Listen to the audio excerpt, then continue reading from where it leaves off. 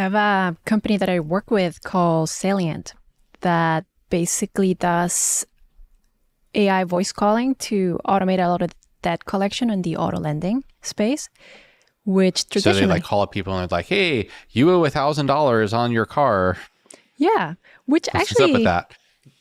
actually this kind of job is one of those butter passing job. It kind of sucks because a lot of uh, these low wage workers work in all these call centers and it's like a terrible boring job. So very high churn and giant headcount to run these because there's just so many accounts with these banks that have to do that.